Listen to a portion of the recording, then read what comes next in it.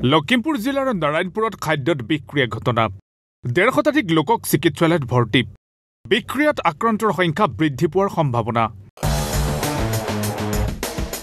ভাদ মাহৰ নামৰ প্ৰসাদ খাই বিষক্ৰিয়াত আক্ৰান্ত হৈছে নাৰায়ণপুৰৰ পাণবাৰীৰ বহুকেইগৰাকী পুৰুষ মহিলা। আক্ৰান্তসকলক নাৰায়ণপুৰ মহাত্মা গান্ধী আদৰ্শ চিকিৎসালয়ত ভৰ্তি কৰোৱা হৈছে। আৰু ইয়াকে লৈ বৰ্তমান চিকিৎসালয়খনত এক হাহাকাৰ পৰিৱেশৰ সৃষ্টি হৈছে।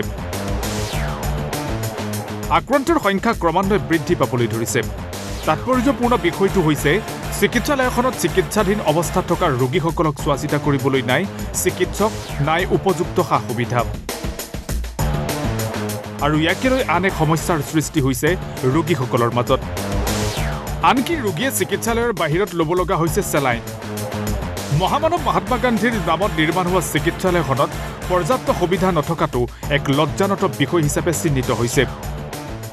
দেখিবলৈ পাইছোঁ যিহেতু আমাৰ গাঁৱৰে এখন এখন মডেল হস্পিটেল মডেল হস্পিটেলত যিহেতু আমাৰ ইয়াত আহি পেলাই চাইছোঁ বেড যিকেইখন বেড বেড আমি নিজে পাৰিবলগীয়া হৈছে।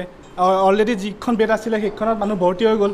এইটো ৰুমত আমাৰ ষ্টেণ্ড যিখনো যিসমূহ চেলাইন দিয়ে সেই চেলাইন দিয়াৰ ষ্টেণ্ডসমূহ নাই। আগলৈ চাবলৈ পাইছোঁ গোটেইকেইটা ৰুম ধূলি মানে কোনো ৰোগীৰ বাবে কোনো মানে উপযুক্ত নহয়। গতিকে আমি আমাৰ স্বাস্থ্য বিভাগৰ কৰ্তৃপক্ষক অনুৰোধ জনাইছোঁ যাতে এই হস্পিটেলখন তেওঁলোকে পৰিদৰ্শন কৰে আৰু বিহিত ব্যৱস্থা গ্ৰহণ কৰে। হয় আমাৰ বঞ্চিত হৈছে। যিহেতু দেখিবলৈ পাইছোঁ চিকিৎসক দুজন কিন্তু ৰোগী আছে আপোনাৰ দুশ বা তিনিশ ৰোগী এনেকৈ আহিবলগীয়া হৈছে। ইপিনে ইজনৰ পিছত সিজন লোক বিক্ৰিয়াত আক্ৰান্ত হৈ বৰ্তমানেও চিকিৎসালয়ত ভৰ্তি হৈ আছে। আক্ৰান্ত লোকসকলৰ বমি পেটৰ বিষ মূৰৰ বিষ শৌচ হৈছে। চিকিৎসা অন্তত কেইবাজনো লোকে কিছু পৰিমাণে আৰোগ্য লাভ কৰিছে যদিও গৰিষ্ঠ সংখ্যকেই সম্প্ৰতি ঘৰতে চিকিৎসাধীন অৱস্থাত আছে।